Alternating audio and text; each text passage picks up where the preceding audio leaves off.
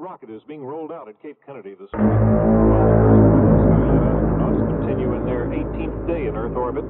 Preparations move ahead at the Kennedy Space Center for the July 27th launch of the second crew.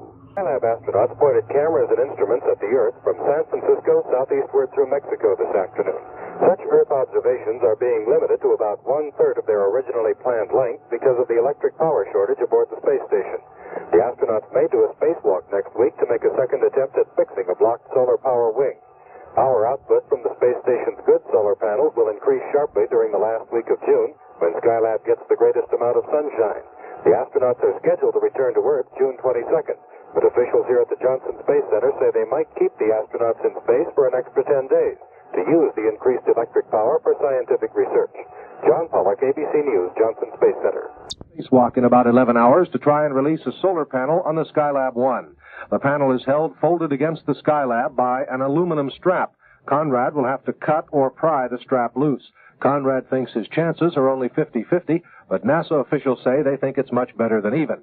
We asked ABC's John Pollock at the Johnson Space Center in Houston about the project.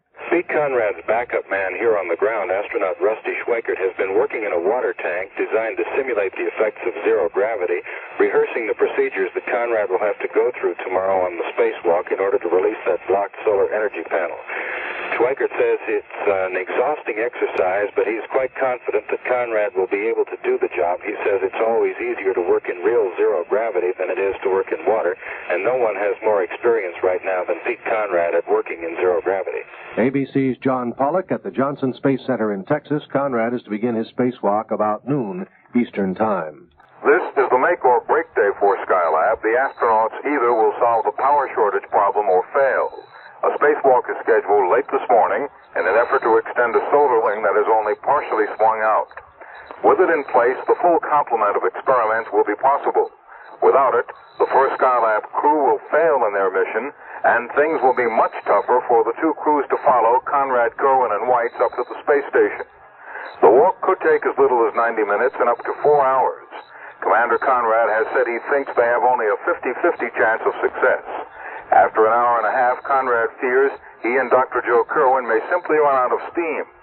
Officially, NASA is maintaining an optimistic profile, but at least some pessimism is creeping in. In an interview with CBS News this morning, Skylab program director William Schneider said he's still confident, but also swallowing a lot of Rolaids.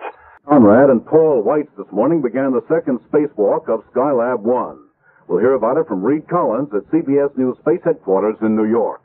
Conrad and Weitz opened the hatch some 45 minutes ahead of time and went right to work. They paused a moment to gaze at the Earth hurtling along below. Boy, it looks like a long way down to the Earth. Hi there. You know why? Why? It is a long way down. I guess you're right. All right, I'll keep on going. Conrad kept on going and smashed at the hull with a hammer to see if a stuck battery regulator inside might be jarred into operation. Boy, is he hitting it. Holy kid. All right, anything happen? Houston EB3. Uh, he hit it with the uh, hammer. I had no joy. I turned the charger on, and I'm getting a lot of amps uh, plus on the battery. You want to have a look at it? Okay, that's good. It, it worked. Thank you very much, gentlemen. You've done it again. I can't either. And so, the last spacewalk planned for this first Skylab mission began on a successful note. Conrad and Weitz working in space with an occasional glance down home, where they'll return on Friday. Reid Collins, CBS News, Space Headquarters, New York.